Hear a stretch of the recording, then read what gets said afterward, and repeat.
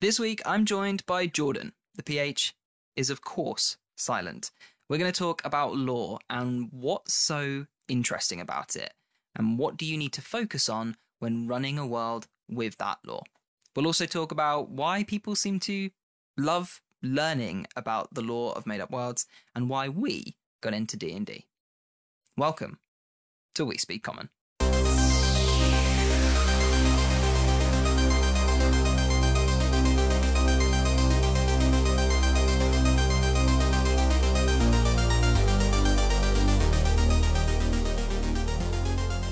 Hello and welcome to a brand new episode of the D&D podcast for everyone because here we speak common.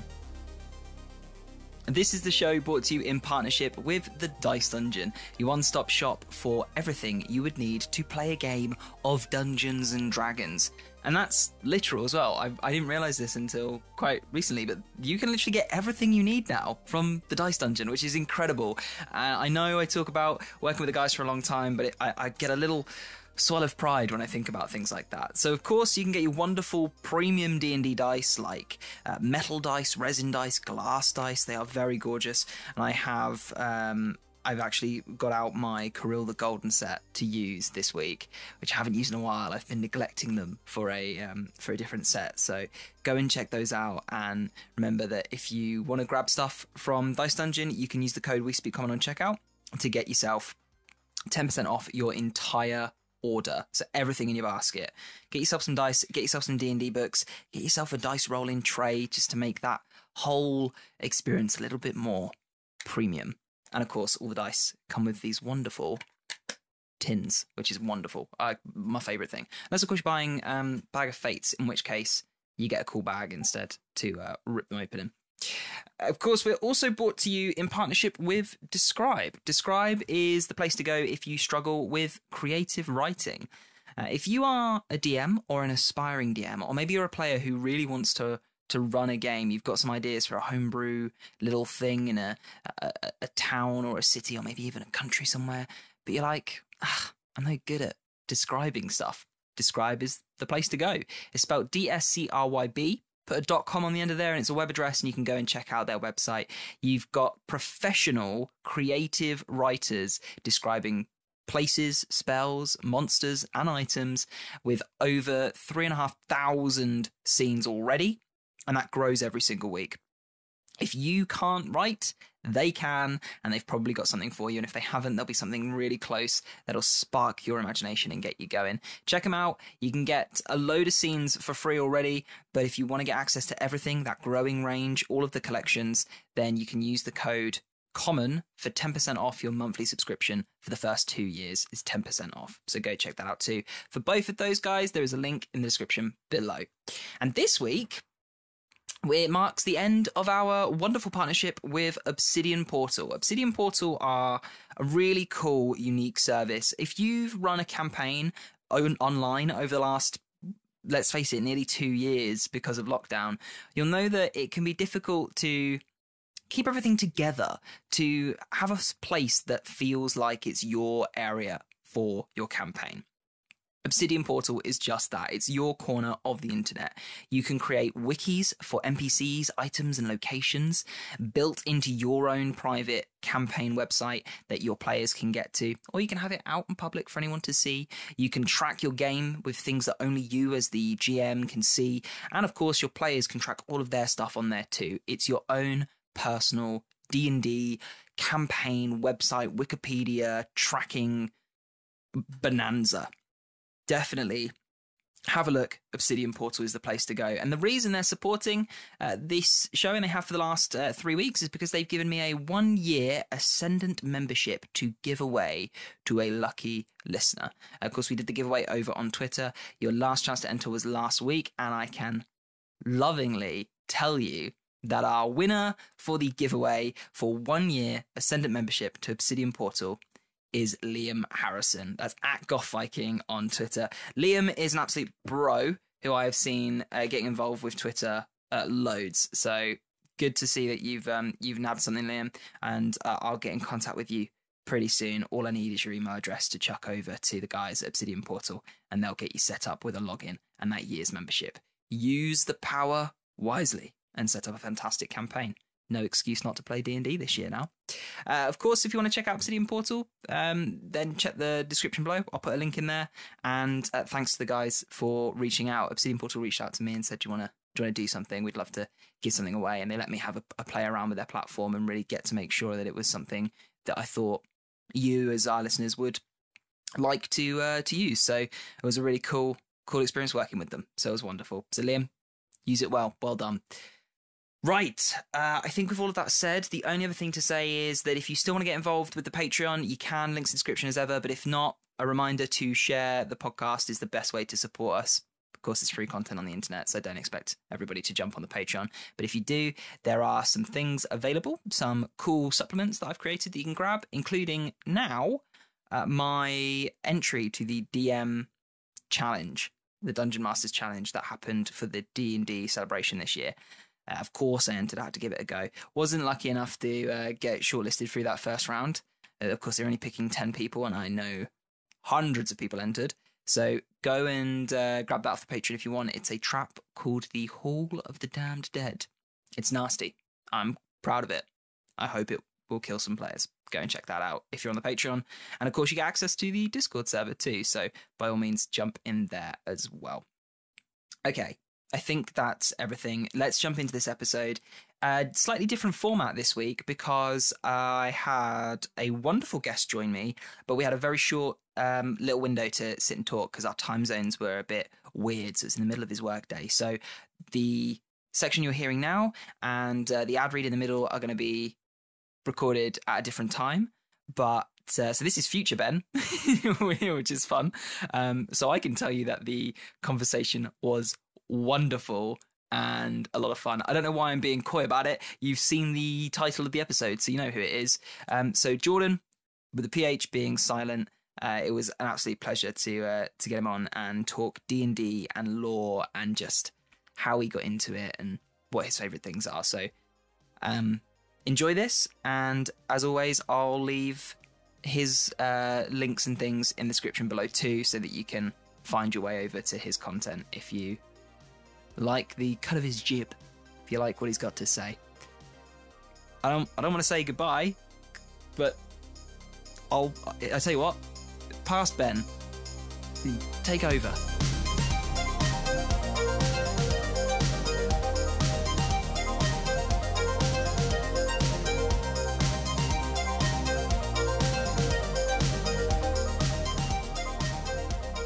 Cool. All right, we'll um, we'll jump straight into it then.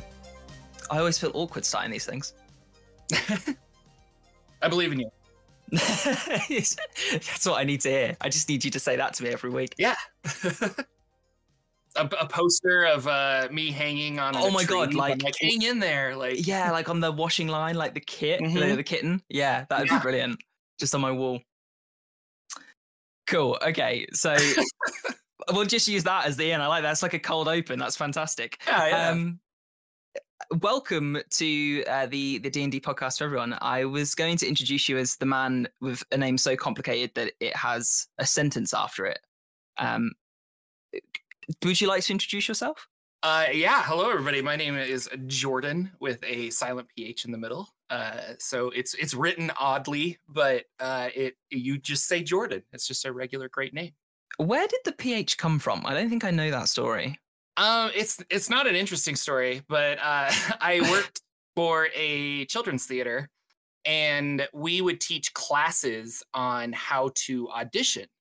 Mm-hmm. And one of the one of the classes we would do would have like a little sketch in it where my uh, my tour partner and my my other actor would be the person, the director auditioning, and I would pretend to be a kid coming in, and I would hand him my resume, and and the auditioner would be like Jorfton, and I was like, oh no, the ph is silent. She's like, okay, well that's not that's odd, you know, and and uh, then uh, since then I like I created a Twitter handle, and then I was trying to figure out uh, what to call myself online, and mm-hmm. I just I didn't have a good idea, and, and then I was like, oh that that was a funny joke, uh, but it, it was funny to like me and my friend. It's not really funny to anybody else.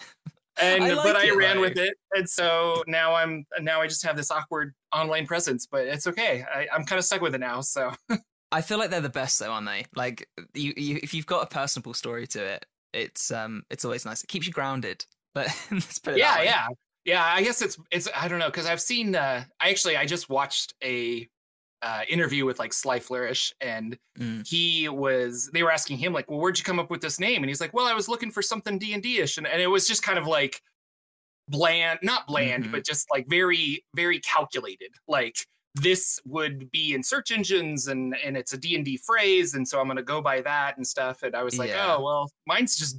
Mine's just dumb. Mine's a dumb story from 2009. So, well, I, I remember when um, Joe and I started off We Speak Common like three years ago. We we spent ages trying to work out what we wanted to call it because originally we were like, oh, we just want to talk about D and D, like we just want to talk more because we don't play Yeah. enough and we don't have any time to get any more games in. So we'll just we'll just talk, and if people want to listen to it, they can. And I remember like we f- we threw around so many different ideas of like because we wanted something that was vaguely D and D related. Like we wanted to be like, Yeah. oh, we've got a little D and D show, and uh, we came up with We Speak Common because we were like, oh, it's like a clever way of saying we're idiots because everyone speaks common. So that's that's where ours came from. And then like my like actual it. like name on online is just my name. It's just oh yeah, yeah. I mean that works. me and my middle initials because you know at at this point there's no point trying to hide who I am on on the internet. So um, I always ask people this question. I I've realized it started to throw a few people off. Uh, what is your D and D career? Where does D and D start for you? Uh, like when did it start, or just like Yeah, like how like is it is it something you found when you were a wee boy or was it something you discovered later in life? Like Oh yeah, no, I uh, so I'm I'm currently 38, okay. and I think uh, I was 30 when I played my first D and D game. Um, I was always interested in. I read a lot of fantasy books as a kid, and I was always interested in in uh, fantasy in general. Mm. uh, and video games. Like some of my favorite video games growing up were the Baldur's Gate and Neverwinter Nights PC games. So I always I knew that D and D was a thing, but I never I, I I never lived in a place that allowed me to play it because I was in a very small town in a rural part of America where it would probably be frowned upon to play Mhm. and also there just was not the population density to find enough people that would be interested in something like that. So it it never really clicked for me to like consider playing dungeons and dragons or or any rpg for that matter. But i was always interested in theater. And in college i was a theater major and doing a bunch of stuff and i had some nerdy friends there that were playing a very complicated system called uh Rolemaster, I think it was, and I Mhm. played a little bit of that, but I I it never clicked because we were playing in the Lord of the Rings world, but I was specifically told that I can't do things that were in the book because it doesn't feel like a Tolkien world. So I, I would get excited and I'm like, oh, I want to like cast this fireball or I want to do this. And they're like, well, you can't really do that. And I'm like, Uh. oh, because it just was he want the DM really wanted to keep it, you know, kind of Tolkien authentic, I guess. And you don't have Gandalf running around and spitting Yeah. fireballs and stuff. So I get that. Uh, but yeah, so uh, many years later, uh, I'm in a play, um, and one of the one of my fellow actors, we were just talking about stuff, and he's like, "You've never played Dungeons and Dragons?" And I was Mhm. like, "No." And he's like, "Man, you would love it." Like he just he knew that it was something I would be interested in, and I was like, "Oh, really?" And he's like, "Yeah, let's. I'll put a game together." So he gathered a bunch of of his friends and a couple of my friends and some people from the show and my uh my wife who was my girlfriend at the time and we all sat down and played second edition uh AD&D and I had never experienced anything like that before and it was so much fun Mm. um and just uh, I, I like immediately went home and I, I found PDFs and I found like an old book on uh, eBay and I was reading them like religiously and I was like, this is the coolest thing. Like like he was right. Like this is the coolest thing. Uh, and then that game fell apart real quick. And the guy that invited me to play, he ended up moving really quickly after that show ended. And so I was trying to find somebody else to like run games for me because I wanted to play. And then I realized that if I wanted to play more, I would need to run games. And so I went out and bought a bunch of fourth edition stuff and started running games. And I've literally been running them ever since. And then when fifth edition came out, we transitioned over to fifth edition and uh, and here I am. So yeah, I, I've eight years only been playing uh, oh. RPGs, but it feels like I should have been playing it a long time ago. Like, yeah, I I, th- I totally get that. I think I it's quite fun. Uh, whenever I ask people that question, I always get you always get so many different like versions of the story, but I've never found anyone that kind of lines up with my own experiences quite quite so closely. So I I'm a little bit younger, so I'm 24 and I'm obviously over in the UK, but it's like D and D is just not as big here. It's much bigger mm-hmm. now. Like I, there are so many people. Like there are people who I knew from like when I was, you know, like 10 years old, um, who I've bumped into like later on in life and they've been like, oh, I've, I've always wanted to try D&D. And I'm like, oh, I have a podcast. Like D&D's my thing. um, yeah. and, and it's, they're like, oh, oh okay. but back in school, like it was, no one knew what it was. And yeah. I have no idea where it came from. Cause I was, I was big into, like I was a drama kid. I was big into acting. I wanted to be an actor. And then I transitioned away from that and got into uh, being a radio presenter, which is what I do now. Mm-hmm. And so, like, I've always kept that kind of performancey kind of thing going. And then somewhere along the line, I discovered D and I still don't know where it was. Like, I've always liked fantasy, but I found it somewhere. Um, so I think I've been playing now for about nine years. I started about a year or so before fifth edition came out because okay, I remember yeah. one year, like I don't know, there was I was listening to like the Dragon Talk podcast, like mowing the lawn, and they were talking about Rise of Tiamat. Like I vividly remember that being one of my earliest D and D memories. But yeah, so I, I I was very similar. I had to find people to convince to like to play. Oh, my cat's come in and started meowing at me. Hey, tabs. Oh yeah, hey, mine, mine will probably do the same. But yeah, no, it's it's so interesting. Uh, just I don't know, like yeah, D and D and and uh, making that decision to being like I'm I'm gonna run games because I you want to play it that much, you know. And mm. I don't know. Mm. Nowadays, I really like running games more than playing. Yeah, uh, I'm the same. So. I was thinking that the other day. Um, I was talking to who was it? I think? Well, I think I was talking to Patrick from last week's episode. Actually, and we were talking about our experiences and um, similar conversation really. But I, yeah, I definitely find that DMing is now like the thing I get the most joy out of, which is never what I thought it would be either. Which is really interesting. Yeah, yeah. Like what? Um... I don't know. Go ahead. Sorry. no, no, no. By all means. Oh no, I was I was just thinking. Um, uh, even like writing a campaign can be like really rewarding, but like I've I've run so many uh pre-made adventures and stuff and i i find just as much gratification out of doing that like i don't yes. i don't know what it is it's just like uh and then i was just telling somebody the other day that when I'm at the table and I'm a player, uh, I get bored sometimes because I'm just I'm not as engaged because it's not your turn kind of a thing. But yeah. as a dungeon master, I'm always engaged and I'm trying to like listen and pull all these different conversations together somehow. And I don't know, there's a it's it's way more work, but not in a bad way. Like I feel like I get more out of D and D as a dungeon master. So yeah, no, no, I totally get that, and I think um I, I, yeah, I feel that as well. Like some, there are times when I'm in a game and I'm like, mm, I'm not sure if I'm I'm as engaged as I could be.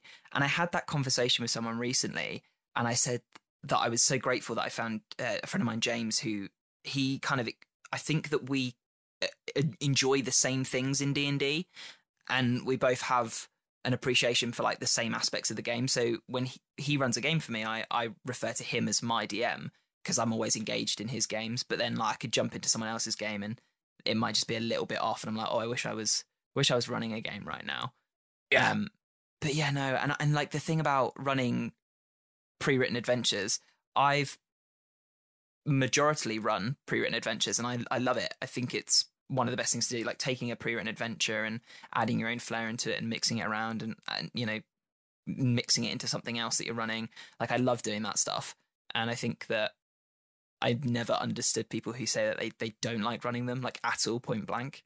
It's like there's so much stuff there that you can just take yeah, and I, use and have fun. I've with. talked to people about it, and I think they have a preconceived notion. And I mean, this is a generalization, so I shouldn't really say this, but like I think yeah. I think as a oh, it's a pre-written adventure. Uh, they have a preconceived notion that they have to follow it, and I was yeah. like, oh no, like I don't follow it at all. Like I'm like, oh, you go left, okay, and you know, and I'll come up with stuff or I'll change things, or and then all of a sudden the mayor is the brother of somebody in the party, and you're like, Yeah. what? And yeah, you know, it's like I don't know, we just like as we play, the whole thing evolves and it's fun, but it's a great like jumping off point. And then I also know like, oh, here's a giant city you could go visit, you know, because it's in the adventure. So Yeah, I I always the, the first thing I do after I've read an adventure is I rewrite the bits that I don't like and I change stuff around, and then that becomes my new version of the adventure, and then that's the thing that I change from. Then I run from. Um. So yeah, I think like I, I always tell people whenever they they say to me like, "Oh, how do I run adventure?" I'm like, "You change it. Like it's there for you to do what you want with." That's always my biggest piece of advice. But that goes quite nicely into what I was going to ask, which was um, what got you into the lore side of it? Because obviously, online, you are one of the lore men, in my opinion. I think I, I can't, it's a bit weird. I can't tell you how many hours of your videos I've seen. well, Um, that's awesome. So Just because, well, yeah, it's it's a nice thing. Um, but just because I I love lore as well, like I'll always just if I see a chance to get something in the back back of my brain and keep it there for another day, like I will. What got you into that? What was the draw there? Um, I I've always loved lore, so I have a really old uh Greek mythology book that uh is it's basically a textbook. and I would just read it and my friends are like, "What are you like?" And I'm like, "I don't know, like it's cool. Like did you know this Orpheus guy? Like he lost his wife. It's so sad." And like I don't know. And so I've I've always really liked that, and I like how stories can evolve and change. Um, and then reading things like Neil Gaiman's Sandman series, where he did like a lot of stories that I grew up reading Greek mythology or Norse mythology or something. He would take a, take those and just kind of like, here's a Sandman twist on it. And I thought that was so interesting that you could just do that. You know, it's like public Mhm. domain, and and then we have a a shared uh, cultural experience where you know if I if I talk about Zeus, like you might have a different interpretation of what Zeus is, but we still know what we're talking about, and we have this idea of these these gods that are not uh um, they're omnipotent, but they're not like good. You know, they're just basically humans with a lot of power, and so it's it's like, well, what what are those stories? Are how how are those stories told, and what are they like? So, getting into Dungeons and Dragons, I was trying to figure out how to run adventures. And so I got some fourth edition adventures and then I looked at them and I'm like, oh, you're set in the Forgotten Realms. And I'm like, who's Orcus? So I start researching who Orcus is because I don't understand any of these. And then the more I was researching, I was like, oh, this is like actually taken from uh, mythology or public domain works that we have. And I thought that was kind of cool. And so, you know, like Asmodeus is a thing and, and Orcus is a thing and all this other stuff.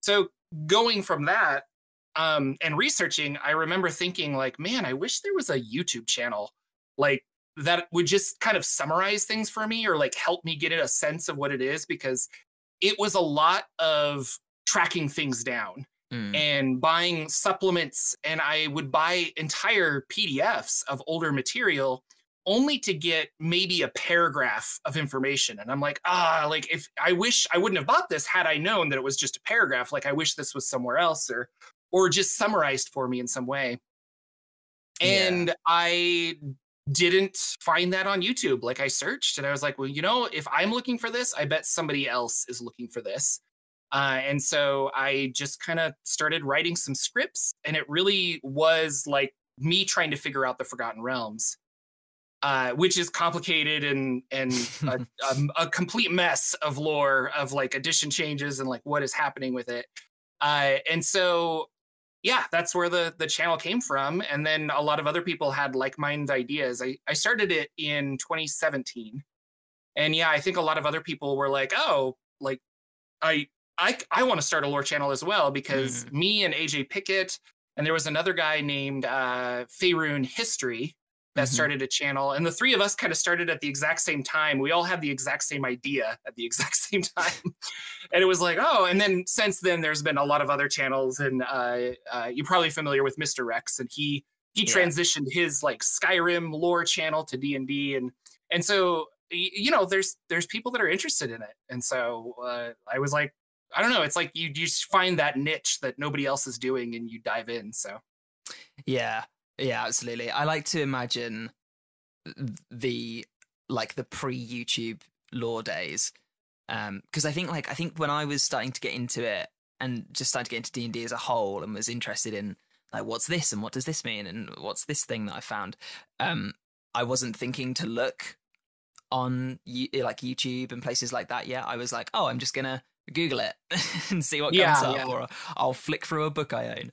Um, and I got to the point where I started to buy PDFs and things, and I think I've got like a catalog of PDFs just stored away on like a cloud drive somewhere. But it's like I like to imagine it as like the digital version of that guy in like Raiders of the Lost Ark in the museum who has all of the papers. Oh. They're just like all coming out of tomes. Yeah. It's like it's like the modern day era version of that, but for made up worlds. Too funny. it's a lot of fun. Yeah, That's- I makes me feel remember.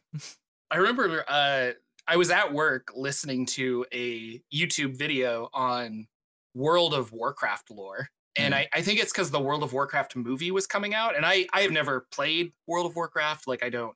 I I I was just interested in this idea of like orcs and elves. Um, and then that was the day it like clicked where I'm like, oh my gosh, I could do this, but for like the Forgotten Realms. And like, yeah, my early videos are awful, but uh, you learn and you grow. And so Yeah, someone told me that I, I've got a friend who listens to the podcast quite re- uh, regularly, and he joined probably in like our second year or something when we'd kind of like and like th- we we had a good start. We I was working in a radio station like frequently, and we were using a proper studio because perks of the job. But we were like still new to it, and he he messaged me the other day and was like, "I went back and listened to one of the old episodes recently. It's not good." Oh, yeah. Yeah, like, don't do no. that. of course it's not. It's awful. And like the first first one we did post lockdown as well, like over the internet instead of being in a room together. And like that would not I would not put that out today. But Oh yeah, yeah. Just like Oh audio, God. yeah, audio quality and problems, and yeah. yeah, I think I think Joe like didn't even have his microphone on properly or something. Like it was such silly things. But um so do you how like I, I don't know, this might be true for you, it's true for me. Sometimes I feel like I have my home game D&D brain where I'm like, "Oh, I'm going to go and do some D&D prep for my game on Saturday night, for example." And then I have my oh, that would be cool just to like put on the podcast brain and they're like two different entities or do you feel like it's just all you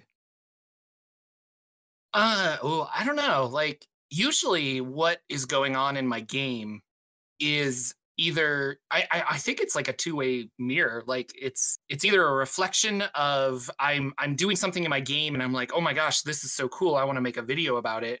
yeah or I've made a video about it and I'm like, oh my gosh, this is so cool. I want to put it in my game. So it kind of goes both ways. Uh, I definitely, as an as an early dungeon master, I would have cool ideas and I would write down everything that kind of popped into my head. And then I basically had really awesome players that would allow me to run whatever I wanted to. So I would uh, like we had a whole adventure that was uh, in the Underdark, and we had a whole adventure that was in the Shadowfell, and we had a whole adventure that was just in the desert because I'm like, I want to try out these desert mechanics, and they were game for a lot of it. But looking back on that, I I think I would definitely uh, rein myself in and Mhm. allow myself or allow my players to lead the the adventure more than me. So yeah and nowadays i kind of just follow like I don't know like wizards news like when they come out with new stuff i'm like okay like let's talk about this person or that person yeah um and yeah but like the lore aspect of it is kind of different than regular game prep i guess so but like definitely there there was a whole section where i was doing um uh, I going back to the desert thing where I was talking a lot about the Anauroch Desert and a bunch of other stuff, and then I transitioned that into doing like a whole desert campaign with Al Qadim uh, Mhm. in my my my homebrew setting. So That's cool. I yeah, no, I I I kind of follow that. I think I had a point in my homebrew game, or this is a few years ago, and I was like, oh, I'm just gonna create a reason for me to be able to use pretty much any monster I want. and so yeah, like this. you get like that. You're like, I just want to use this cool monster. So Yeah, it's like, oh, I want to get all of the toys out of my toy box and just drop them on the floor and see what happens. Yeah, yeah. No, I, I definitely I remember doing that exact thing where I was thinking about uh zombies and I'm like, I I just want to do like a huge zombie apocalypse. And then that mm. worked into my desert game by a necromancer literally raising up like 500 one HP zombies and how yes. do your players deal with 500 one HP zombies? And it's like it was really interesting. It was fun, you know, because yeah, you can you can do like like the wizard and the cleric were having a blast because they'd run in and just do big AOE things. And then our poor fighters, who were usually the the stars of our campaign and did the most damage, were just like, okay, I killed three. I'm like, yeah, that's real good. This this cleric got like 400 or 40, you know. like, yeah. oh, yeah, minions are great. I think I I don't know if we've talked about those before. I think if we haven't done it in depth, it's probably an episode for the future. But I did a, a zombie thing um, midway through my Dragon Heist campaign, linking into oh yeah, we had a, a Druid of the Spore, so we linked into him, and I like planned it all. Was like, oh yeah, this would be great. It'd be really cool. Like I seeded it like weeks in advance, and then it just so happened that the night they like kicked it off and worked out what was going on, and like the City of the Dead was on lockdown. Was like the first session we did in lockdown in real life. Oh wow! And I was like, "This is really awkward. I did, did not plan it at all, but we, are here now. We're just gonna we'll, we'll, we'll ride the wave and see what happens." Yeah, yeah. That was good fun.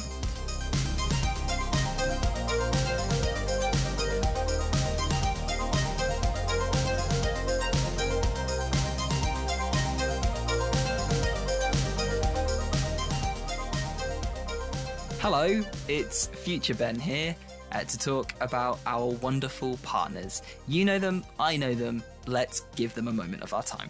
Dice Dungeon are, of course, the partners who've been with us for well over a year now. Uh, ben and Dave are awesome guys, and they sell premium D&D dice, as well as D&D books, and now things like uh, dice rolling trays for when you buy metal dice and you don't want to dent your table, or you buy glass dice because they're so pristine and beautiful and you don't want to chip them on your table.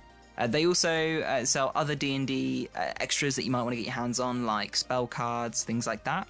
And if, like me, you've got a lot of dice, but you want more, but you can't pick which set to get because there's so many, they do an awesome product called a Bag of Fates where you pay for a set of metal D&D dice. It's the cheapest way to buy D&D dice and you don't know which set you're going to get. It could be one of the sets on the website that you could buy straight out or it could be a mystery set that you can only get through Bag of Fates. So go and check those out too. They're really cool. We, uh, we being myself and Phoebe, got a bag each recently, and of course they look the same. So I let her pick the the bag she wanted, and I took the other one, and she absolutely was luckier than me.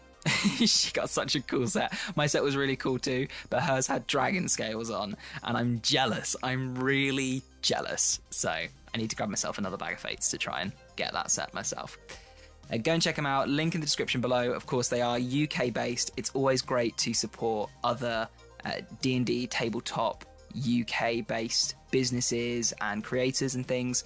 Um, so go and support them, check them out. And if you do buy something, you can use the code WeSpeakCommon to get 10% off your entire basket. So everything in your basket, uh, you can get money off. Okay, uh, our other partner, partners are dScryb. dScryb, spelled D S C R Y B, put .com on the end for the website are the place to go if you're not great at doing creative writing. I've been working recently on some homebrew stuff, uh, my own campaign setting, but also a little uh, mini adventure, like a, a self contained adventure that I've been working on. And there are times when I'm like just pen to paper and, and I'm happy with everything I'm writing. And there are times when I just look at that page and I don't know how to describe the Dracolich forming a new body in front of the adventurers. So I have to go and get some inspiration. dScryb are great for that. They've got over three and a half thousand scenes describing places, spells, monsters, and items. They add to that every day, and every single scene is written by professional creative writers, people who do this stuff for a living professionally.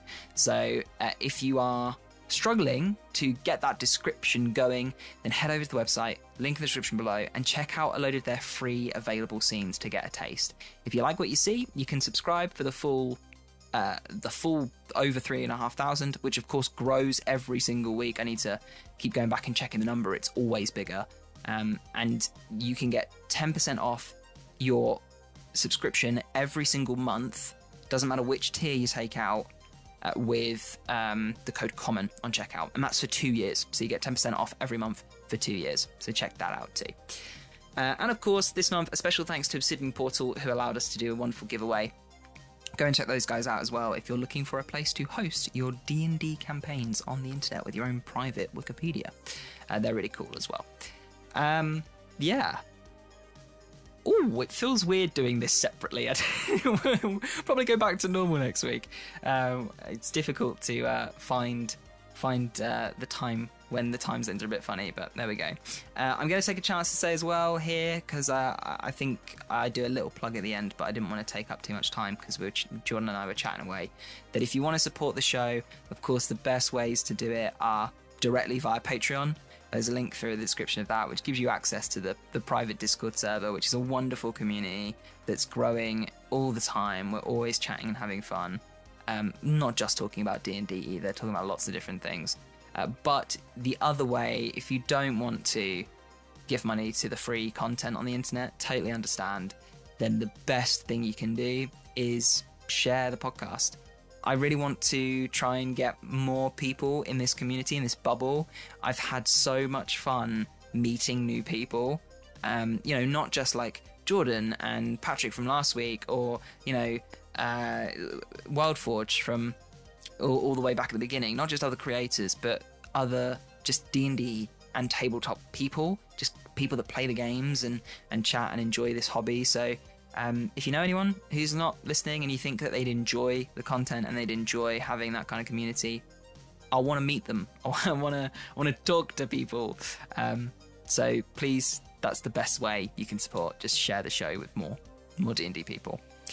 Cool. Uh, as ever, if you want to get in touch, Twitter, Instagram, all those things, and the email is we speak at hotmail.com. Let me know what you got going on in your games. Right, back to then Jordan and past Ben. I'm getting the hang of this time travel stuff.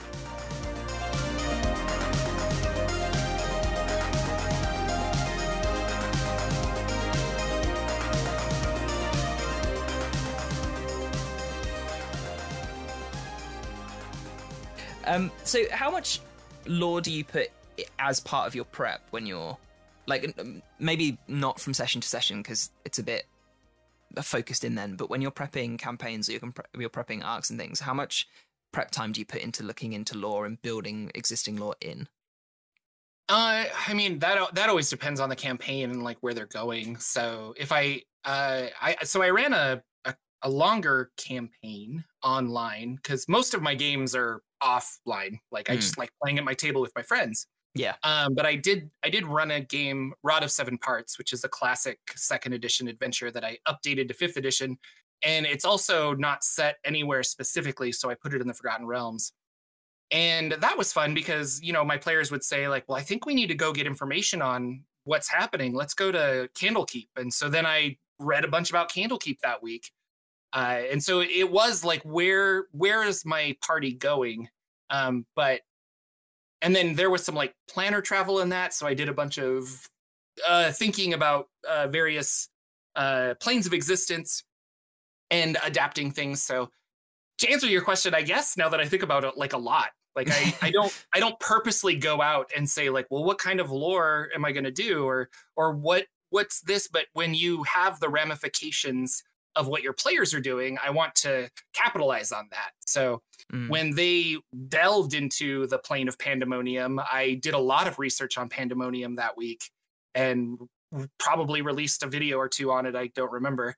But that uh, knowing all of that really helps when they land in pandemonium to be like this is different than anything you've ever experienced and here's why and so and then if they encounter people to ask like well what what is happening here? Like, why is this the way it is? Well, you don't, you know, you don't know, but you can talk to this person, and then the DM knows because he's read a lot of books. yeah, yeah, yeah, because he's a big geek. Um, I uh, I've got to take a sidetrack because you mentioned the Rod Seven Parts, and it's just sparked something in my brain.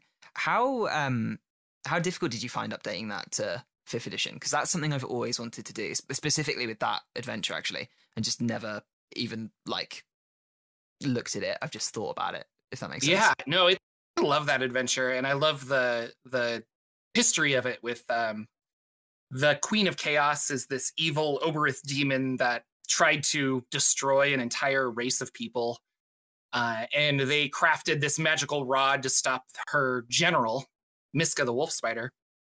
And that rod, as it is is uh is twofold. So I I'm kind of I don't know I'm kind of spoiling it, but I guess this is like a DM talk show. Oh, yeah, no, it's fine. The the rod as it as it quote unquote killed Miska the wolf spider in combat, part of Miska's essence went into the rod, and the law versus chaos because demons are chaotic, and these mm. uh these pe- race of people that I'm forgetting their names. It starts with a V. The Vistani? No, that's a different. That's Ravenloft. Yeah, anyway, Ravenloft. they uh they built this rod, but they're very lawful. And so when the two met, the rod shattered into seven parts. And it's just one of those cool um, magic items because it's also a quest. You know, mm. you you have to like go find all of these different parts, and the rods are always pulling you in a certain direction. Updating it, I I don't have any problems. Like a lot of people were like, how do you update this? And I think it goes back again to what we were talking about, saying that there are people that are saying, well, I have to follow this guide exactly. Yeah. And I'm like, you have a story in front of you, like just go with it. And so I knew that they would meet in a tavern and they would have a fight against uh, chaotic forces that are trying to get the Rod of Seven Parts. And so I just flipped through my monster manual and I'm like, well, here's some cool demons. And I use those, and it doesn't have to be the same monster at all. Mm. And in fact, the final fight against Miska the Wolf Spider, I could have tried to update Miska from the second edition rules, but I ended up using a Theros monster from uh, Mythic Odysseys of Theros. Mm. And that just worked out really well. And I, I think I gave them like another great axe attack or something to make it a little more powerful. But they nobody nobody knows or cares. So you just kind of use monsters that you have, you know. Yeah, I think it's funny because like I hearing you say it, I'm like, yeah, this is this is right. This is what I this is the advice I would want to be giving. Uh, but I don't think about it anymore. But like I don't. So up to the point quite recently when I started running uh, some Spelljammer games, which is like, you know, here's the lore, do what you want, effectively, because there's just nothing that kind of immediately translates over to fifth edition. Um, yeah. I was like, oh, okay, I just I, I need a I need a Scavver for a, you know a cyclopsic shark that floats through space. I'll just use a great shark or or a giant shark, and I'll give it an extra ability based on what the different colored Scavvers do. And I'm sitting there as a DM thinking, it's just it's just the great it's just a giant shark. Like, oh no, what if it's not interesting enough? My players are seeing in their brains a space shark with one eye that's giant and like really angry and is going to eat them.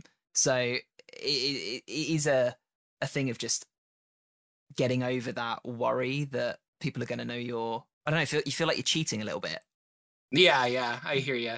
Yeah, I. The, I think the most difficult part of Rod of Seven Parts, just talking. I mean, because it is easy to it is easy to reskin a monster, like you were saying, and you do kind of feel like you were cheating. But the one thing that I knew mechanically had to work really well was the magic item that is the rod of many parts because mm. every it's seven different parts and each part does something by itself and then when it's combined it does something more mm. and so i was worried because you know hypothetically your players can combine parts one and two to create a, a, a mace or they could combine parts three and four to make a mace but if they combine all of those and so that that was complicated but um I I mean, I don't know. I think that was the hardest part of that whole adventure was just figuring out how to fifth edition eyes the magics in those uh in those rod fragments. Yeah. I was saying to Patrick last week actually that the because it's it's a bit weird over here. Like D and D's popular, but it's not popular, but it is popular, or at least everybody kind of knows what it is and wants to try it, but hasn't. It's like a weird kind of I feel like we're maybe four or five years behind where the US is in, in terms like of popularity like, of yeah, D&D? Yeah. Like it's just people know what it is or they've heard of it, and every now and then you'll find someone who's who also plays it. Whereas my experience with meeting people, I mean, bear in mind that I'm talking to the echo chamber of the D&D side of the internet, but my experience that I've heard from like Americans is that like, oh, you know, I, I can go to a secondhand bookshop and I might find an old AD&D book. and like I have Yeah, so much yeah. jealousy for that just having Yeah, no, there's it's weird. And actually that you bring it up, I just went to a half price books, which is like a secondhand store, and found a, a bunch of RPGs that I was like there was like a 007 RPG. And I'm like, Oh, what? wow. That was from the late 80s or something. And because yeah, people are finding old stuff. Uh I don't know. It's that yeah, I, I, it's weird. I remember talking to a friend of a friend who found out that I played D&D and I would not have expected her to be interested in Dungeons and Dragons at all and it's like this like if I had asked her about it 2 3 years ago um it might have been like oh I've heard of D&D but now she was approaching me and saying I want to be a dwarf and I'm like what like this is like you have to run a game for me because I really want to try this out. And it's it's that word of mouth. And then I think a lot of people just start understanding that it is it's not I mean it's nerdy, but it's not a weird basement thing. Like you Yeah. you're just hanging out with friends. And like honestly, that's what I love most about it. And that's another reason that I keep my in-game uh or my homebrew game at the table because I like just hanging out with my friends. Yeah, yeah, no, I totally get that. I actually used D and D as an audition once for a, um, well, it was kind of an audition. It was like a, it was like a radio thing, but um, it was in front of a panel of people. It's like one of the weirdest things I've ever done in my career. But we, um, you had to talk about something for like, I think it was, a, it was either a minute or half a minute. You just had to talk about something, and you'd get rated on how well you like spoke and presented. Oh, interesting. And, yeah, it was really weird. It was like oh, if you've ever wanted to work in radio, come and do this thing. And I think they were looking for like presenters and things, but it, it I don't know, weird vibe. Anyway, I talked about D and D, and the one of the, for lack of a better word, judges turned around and was like, "Oh yeah, I used to play D and D in the '80s." I was like, "Great!" Instantly realize I'm in without without meaning to, because as soon as you find that person who knows what you're talking about, who has the experience, it's like, "Oh, you're instantly buddies, you've got a connection. Whereas if you don't know what D and D is, it's like, oh, it's that thing with with dice and and wizards, right? It's like, yeah, that's that that's kind of what it is. I mean, it's more than that. Yeah, yeah. it's like it. uh uh I taking my father to go see Shakespeare and he's just like I what like What- there's what are they fairies." I'm saying? like yeah, Yeah. sorry and it's you know there's just a and I I think with D&D as well there's that language barrier because you start dropping things like oh you know like in the realms and D8s Mhm. and da da and they're like I don't what is this language like what are you talking about so yeah, yeah, definitely. It's like you know trying to. uh, What did I say last week? It was like, oh, explaining Thaco is like explaining the D and D equivalent of the offside rule, which is yeah probably the best analogy I've ever come up with, and I think I'm going to use for the rest of my life now. Uh, just a shame that Thaco isn't relevant anymore. Um, but yeah, no, I totally feel that.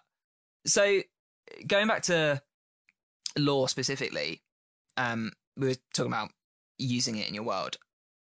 Do you? Oh, we were talking about prep, but in terms of using it, I feel like I have to have a decent understanding of a setting, or at least like a, a good idea of the recent history or, or or how things work of a setting to make it feel that kind of lived in alive setting. Do you feel that way? Do you use lore that way? Or do you have a different relationship with it at the table? Yeah, I think I very similar. Um, it it also kind of depends on my players, Mm. uh, or even the game system. So I I have players that are they get very invested in the the background and things like that, but I have other players that are they just want to go crawl through a dungeon kind of a thing. Um, and then the lore will come up when they find uh, a magical tiara or something, and then I we have to explain like where this came from, and or you don't have to, but you can allude to it, you know. Mm. Um, so, but I'm thinking back to it, last December. I ran. I I tried to do a video every day for a month, um, and I talked about building your own campaign setting. And that was really insightful for me on the basis of like, well, where do you start? Like, how does magic work? Or like, what are the gods? Or how did the world begin? So if you're creating your own homebrew setting rather than just like stealing from the realms, which is completely legitimate, you should totally take mm-hmm. everything from the realms. Uh, I for me, it's very important because I want to know where things come from and how things happen. And magic in the Forgotten Realms is very much like there's a magical weave. It's almost like the Force, and you you can somehow tap into it.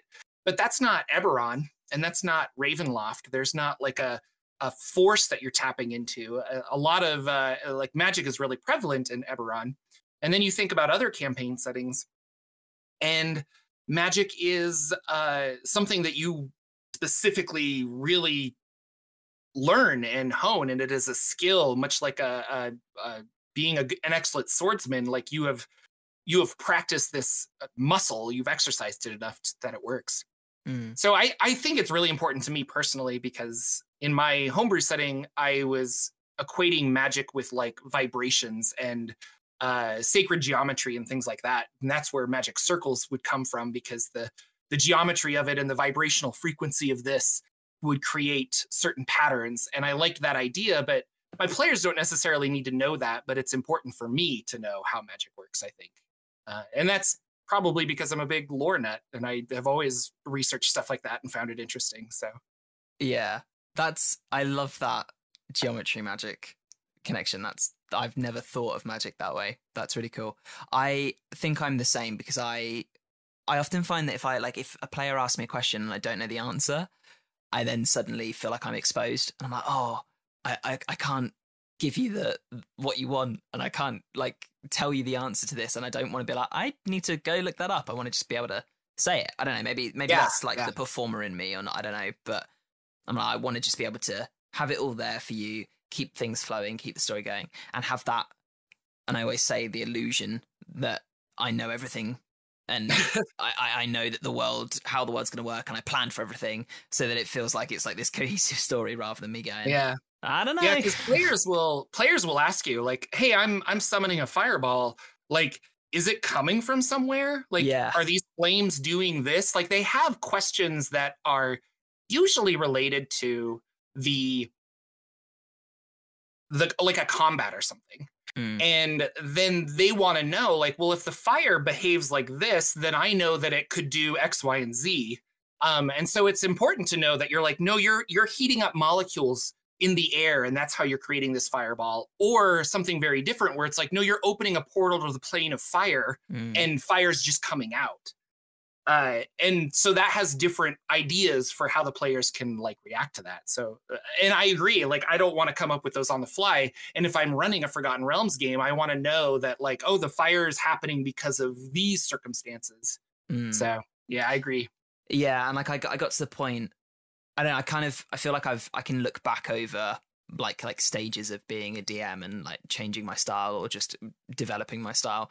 But I got to a point where I was like, oh, okay, I know the lore now. So now I'm gonna now I'm gonna make things adjacent to it and add on to it and make like my version of the realms mm-hmm. because I've got games that you know run in it and they add to the history of of my version of the realms. Um, and so, for example, in our Waterdeep, the Xanathar uh, is dead and he is now within his mind shield ring on the finger of a player who took over the guild. and like he's he's in his brain all the time, like trying to trick him, and they've got this like kind of love hate relationship. It's great. So like my version of the Realms instantly is very different to anyone else's because we've got stories that have played in it. But like I got to the point where I was like, oh well, okay, well I know there's a knot in the weave, and and I know that it's like there's stuff going on in Undermountain, and I know that you know mm-hmm. X many years ago there was that elven civilization. How does that mess up my players now? So now you've got a druid who has this weird connection to to demonic magic, and it's like playing up and acting up because he's near the knot, for example. Um, yeah. So it's like, okay, how do I now take the lore that I know and build on it? And I think that's that's like, oh, I've reached my final form. I'm I am one with the lore, yeah. and now I can add to it. Yeah, that's that's being a dungeon master is like, okay, I'm I have a foundation and now I build on that foundation. So Yeah, exactly. Uh, do you ever find and yeah, you might not, but do you ever find that it ever um boxes you in for things? Like if you're trying to come up with new stuff, do you get boxed in by the stuff you already know that exists, or does it help you creatively? I no, it 100% helps me. Like I I I have people that send me lots of messages all the time. Mm. That's something like, "Hey, my player wants to do this, but they can't because of these rules or because of this lore." Or I watched your video here and you said that that doesn't happen. And I I just laugh and I also feel kind of sad and I try to reply to a lot of those because I'm like, "Let your player like I don't know, a perfect example is uh Moonblades. I did a video on Moonblades Mhm. and they're elven in nature and they have to like choose uh to work with a specific elf um and so you can't just like pick up a moonblade and have all of its mighty powers but instead the blade has to choose you. And my uh, like they they'll send me questions. It's like well hey my player found a moonblade but they're human. So can they use it? Because i don't think they can. And i'm like well that's up to you but i would Mhm. let them like i think that would be the coolest story. Like if you have a human walking into some elven compound with a moon blade and and they're wielding it like the blade chose that human. The elves are going to be upset. They're going to be like what's happening? Why is this guy special? Like that's a whole adventure. So i look at i'm like do it. And so i don't know. For me it's it's never held me back because i'm i'm fine changing it. Like who cares you know? Yeah, no, absolutely. Yeah, definitely. I feel like there's um, and I could be very wrong now, which uh, here's me saying I like the illusion that I know everything. Um, I, I feel like there's a Moonblade in Dungeon of the Mad Mage, or at least there's something very similar to that. I'm looking at the spine of the book, imagining it's gonna like give me the knowledge, but it won't. Um, yeah no. but that is It that work like that. I wish. Oh my god! I literally, James, I mentioned earlier, he reads books so fast. He lends me, but like I'm reading the, um, I'm going through the Drizzt series at the moment because I never read them, and he is like ten books ahead of me. I don't know how people read that quickly. It blows my mind. Like if I needed a superpower, Yeah, that's the one I'd go for. yeah, I've got like borderline uh uh dyslexia, so my eyes dart around a lot when I'm reading and Mhm. uh I have to really focus to read. But I, I love to read, like don't get me wrong, but like I was always very jealous of uh I have friends in college that would just absorb books so fast and I'm like, ah, Yeah, there If are words that like I just can't read. So I will um I'll read a book and I'll get to a word and look at it for like five minutes, then decide what it sounds like in my head and go with that. And then if it comes up in conversation, it's like the most embarrassing thing ever because it turns out I've been saying words wrong for my entire life. But there we go. Oh no, uh funny, that's I, I have a great story for that. My college friend, I was playing Skyrim or something. And she's like, "Oh, that's a that's a cool necklace. Are you going to equip that omelet?" And I'm like, "What?" and this is one of my very intelligent friends that reads so much and I'm like I'm like, "What the hell is an omelet?" She's like, "That it's an omelet. You know, sometimes they have like a, a symbol or like a picture in them or something. Like it's an and I'm like, "Do you mean amulet?" And she's like, "Is that how you say it?" I'm like, "What?" Like uh, Hermione. I can forgive, kind of a thing, because nobody knows how that's pronounced. But like amulet versus omelet, but she had never heard the word uh amulet, and that's in her head. And uh, you look at it, and you're like, "Yeah, I guess you could call it that." So That's amazing as well because I just think of the the breakfast food, the omelette. yeah, exactly. Yeah. Yeah, omelet. No, and it was like, and that's what I thought of too. I was like, "Oh, like eggs." I was so confused, but that, that is good. My um my other half, bless her, she will never let me live down the fact that uh, being a radio presenter, you should know how to say the names of of the artists that you're playing songs of. Um, and occasionally, I w- I I used to work on a station that played music from like all the way back from the 70s all the way up to like now. Real music variety was our was our tagline. So cheesy. Uh, but we played music from artists I'd never heard of before. There's so many times I just said the names wrong, and it's it, I never never lived it down. Enter Shakira was my my worst one because that was a band I should have known. Um, of course, Enter Shikari, but yeah, It's all That's good. funny. it's all good.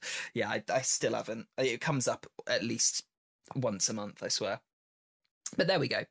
Um, I'm just keeping an eye on time because I know you. I, I don't want to keep you for too long, but um, I think where I want to, uh, what would be a nice place to close then is when you are getting into, or you're getting to the point where you're like, okay, I need to look up some lore. I need to know X, Y, Z about something. What are your pieces of advice for things to to look for, or, or places to go, and, and little nuggets that you you see and go, oh, I'm going to keep that. That's something I'll use at a later date. How do you spot those things? Um, I mean, I I search Wikipedia a lot for pieces of uh, lore, mythology. Mm. Um, and Wikipedia has a pretty extensive uh, database of lore, I guess. Yeah, What that's, else that's a say? good way saying I was like, it's Wikipedia. It's it has articles. You read them. Um, but uh, so specifically, uh, going back to like sacred geometry, and um, I was trying to create some magic items, and I would just type in like, what are some mythological swords? And Wikipedia would say, here's a whole bunch of mythological mythological swords from all of these different mythologies, and then you could kind of go through and pick them, and then you read up. And the cool thing about Wikipedia is a, a lot of the people there will put the links to where they uh, are, or or their reference things. They'll say, "Hey, I got this information from these pages or these documents or books or something." And I spend a lot of time there. Like I'll read the article, but it's really cool to go through and and pick little things uh, from the books below. And so it's like, oh, this sword is from Norse mythology and it was in this book. Well, then you like go look for that book and go to your library or something or find a PDF of it or or anything or buy it. And then that's just a really fun read because it's going to have that information, but it's also going to have a bunch of other inspiration for you.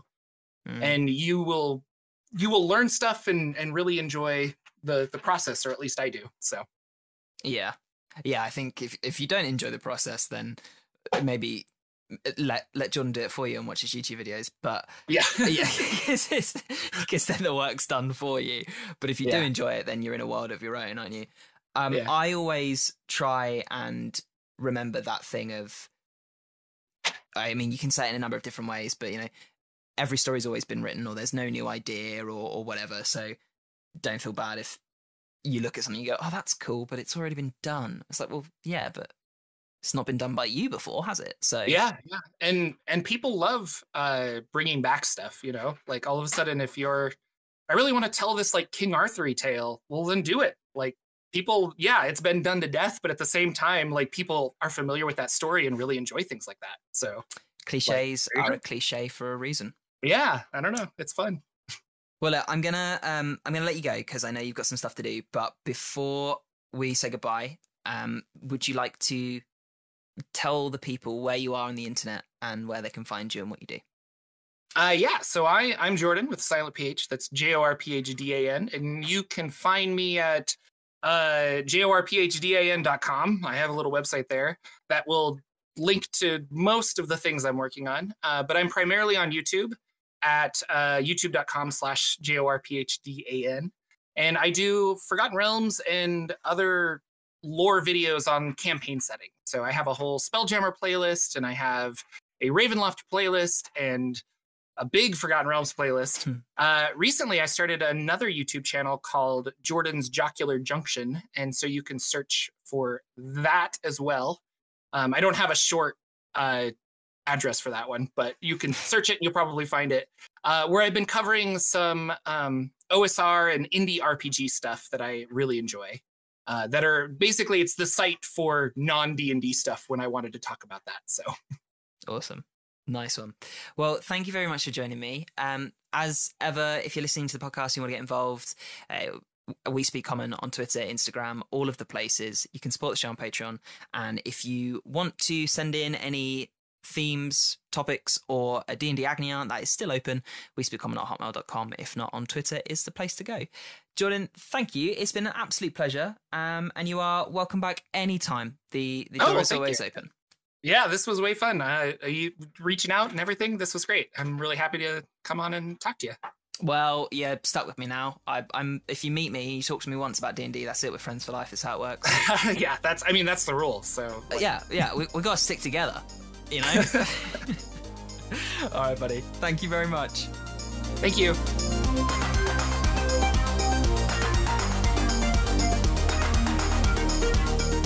Thanks for listening today. I hope you enjoyed the show. If you did, do us a favour and share us with a friend or a D&D group near you. If you'd like to directly support We Speak Common, you can by heading to the links in the description, either on this episode or via our social medias to find our Patreon. It's the best way to directly support the production of more shows like the one you listened to today. You can connect with the show on Twitter and Instagram at We Speak Common. The music in the episode is Street Dancing by Timecrawler82 and is held under a Creative Commons 4.0 license. You can find it on the Free Music Archive.